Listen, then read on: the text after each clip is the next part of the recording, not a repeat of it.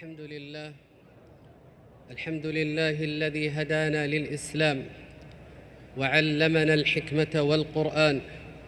لا إله إلا الله وحده لا شريك له أسبغ علينا نعمه ظاهرة وباطنة أستزيده حمدا على نعمه وأسأله المزيد من كرمه وأشهد أن لا إله إلا الله وحده لا شريك له وأشهد أن نبينا محمدا عبده ورسوله صلى الله عليه وعلى آله وأصحابه وسلم تسليما كثيرا إلى يوم الدين. أما بعد فاتقوا الله أيها المؤمنون حق تقواه وداوموا على تقواه إلى الممات وإن مما يعين على التقوى الاجتماع والاعتصام بدين الله تبارك وتعالى فإن من أعظم غايات الشريعة الإسلامية الباسقة اجتماع الكلمة وألفة القلوب بين المسلمين فبهما تتحقق مصالح الدين والدنيا.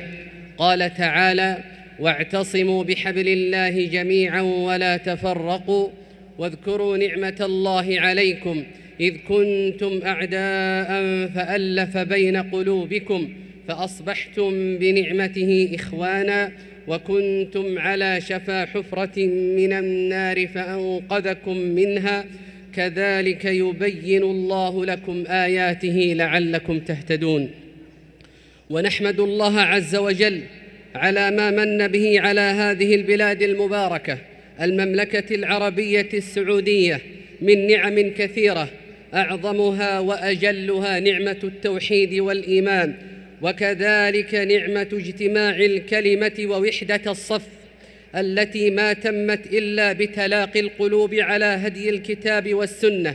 على يد جلالة الملك عبد العزيز بن عبد الرحمن آل سعود رحمه الله الذي أيده الله ونصره ومكنه في أرضه فوحد أطراف المملكة العربية السعودية وجمع شتاتها سائرا على شريعة نبي الرحمة نبينا محمد صلى الله عليه وعلى آله وسلم تسليما. فجعل القرآن دليله والسنة سبيله فأصبح الناس في هذه البلاد بعد أن كانوا قوى متفرقة في نفوس متناثرة أصبحوا إخوة متآلفين يتناصرون ويتناصحون.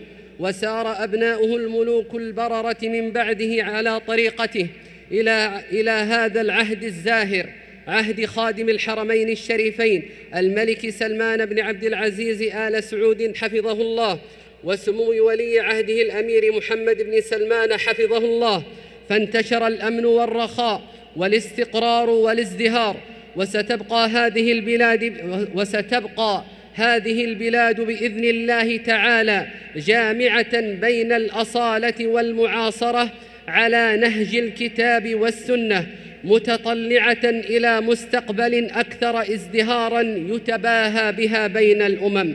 قال تعالى يا أيها الذين آمنوا أطيعوا الله وأطيعوا الرسول وأولي الأمر منكم فإن تنازعتم في شيء فردوه إلى الله والرسول إن كنتم تؤمنون بالله واليوم الآخر ذلك خير وأحسن تأويلا.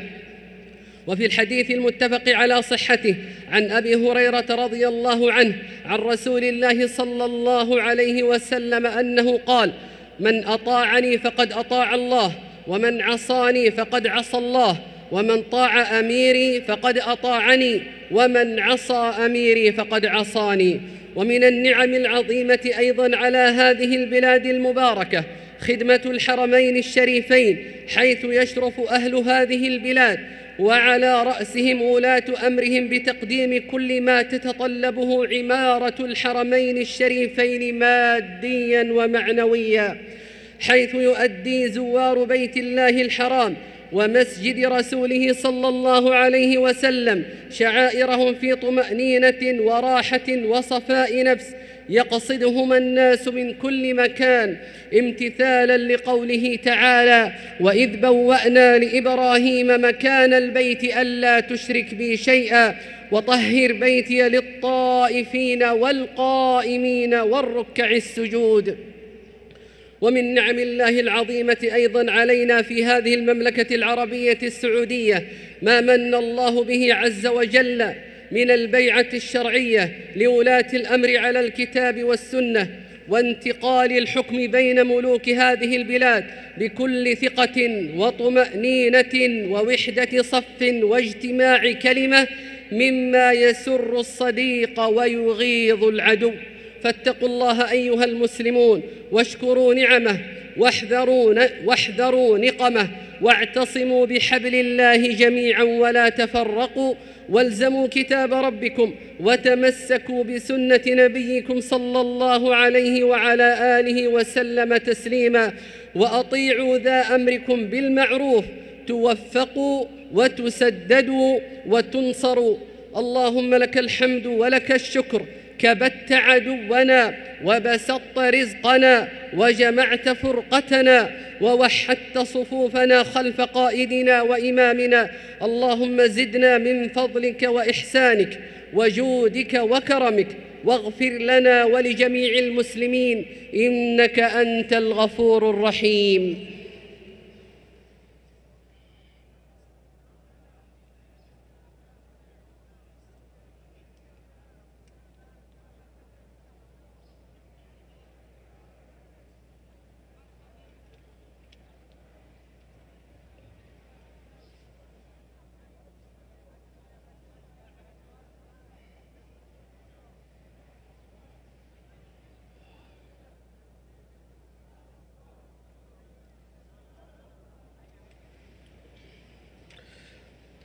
الحمد لله رب العالمين.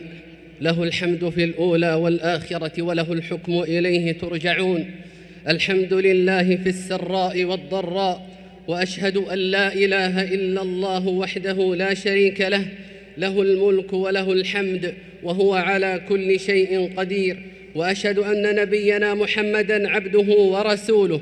أرسله رحمة للعالمين وعلى آله وأصحابه ومن تبعهم بإحسان إلى يوم الدين. أما بعد فاتقوا الله أيها المسلمون وخذوا من دنياكم متاعا وزادا لآخرتكم وتعرضوا لنفحات ربكم والتمسوا أسباب النجاة. عباد الله قال الله تبارك وتعالى فلولا إذ جاءهم بأسنا تضرعوا أي هل لا تضرعوا؟ فحث الله عباده إذا حلت بهم المصائب من الأمراض والزلازل والريح العاصفة أن يتعرضوا إليه ويفتقروا إليه فيسألوه العون. وقد ثبت عن عمر بن عبد العزيز رحمه الله أنه لما وقع الزلزال كتب إلى عماله في البلدان أن يامروا المسلمين بالتوبة والضراعة والاستغفار. وهذه الكوارث والآيات نذر تظهر ضعف البشر. لا يستطيعون ردها لا يستطيعون ردها ولا هم ينصرون. ولا هم ينظرون لعلهم يحذرون لعلهم يتقون لعلهم يتذكرون لعلهم يرجعون لعلهم ينتهون لعلهم ينتهون. عن سهل بن سعد رضي الله عنه يحدث عن النبي صلى الله عليه وسلم أنه قال إن المؤمن من أهل الإيمان بمنزلة الرأس من الجسد يألم المؤمن لأهل الإيمان كما يألم الجسد لما في الرأس. رواه أحمد.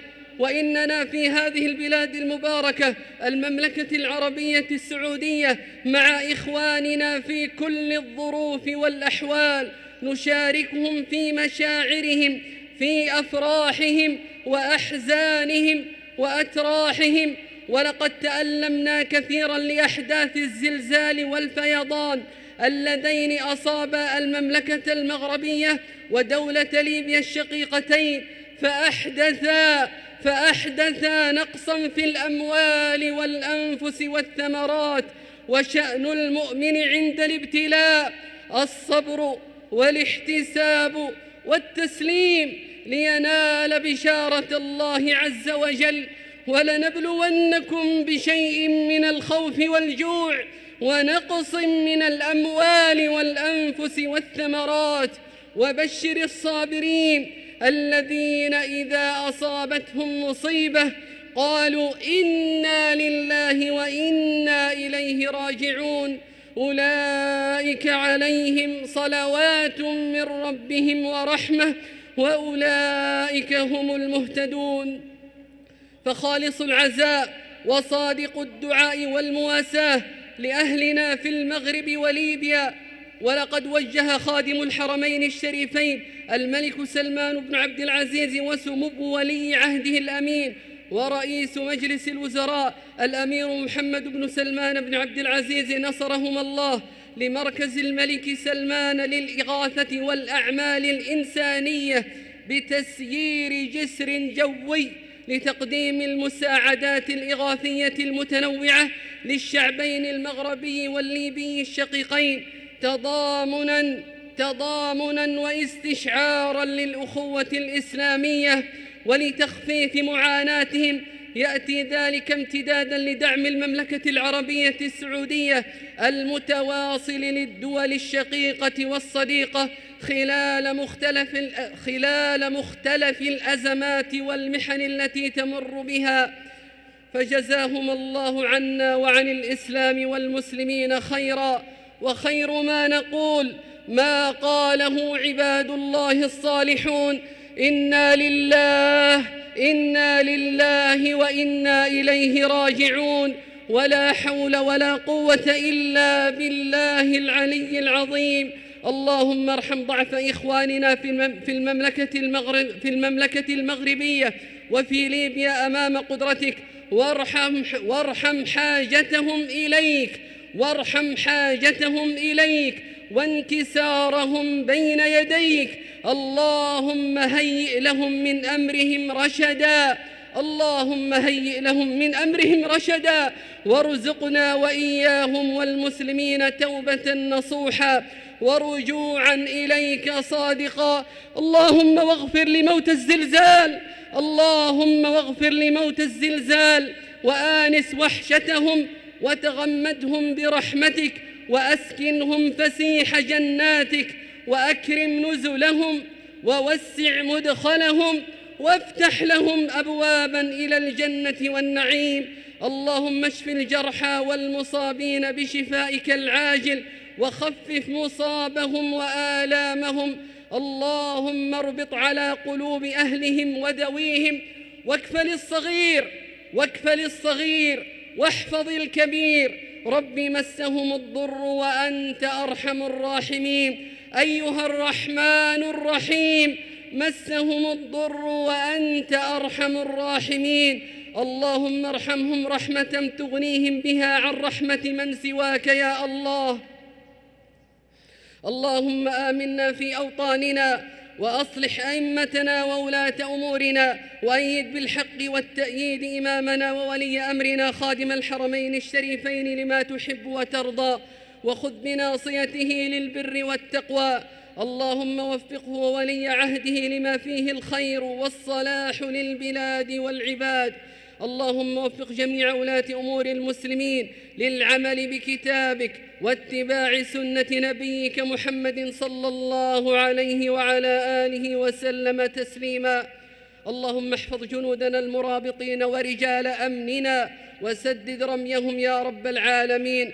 اللهم أدم علينا نعمة الأمن والإيمان والرخاء وارزقنا شكرها وزدنا من فضلك وإحسانك. اللهم عمم بالخير والبركة والأمان جميع أوطان المسلمين. اللهم صل على محمد وعلى آل محمد كما صليت على إبراهيم وعلى آل إبراهيم في العالمين إنك حميد مجيد. اللهم بارك على محمد وعلى آل محمد كما باركت على إبراهيم وعلى آل إبراهيم في العالمين إنك حميد مجيد. وقوموا إلى صلاتكم رحمكم الله.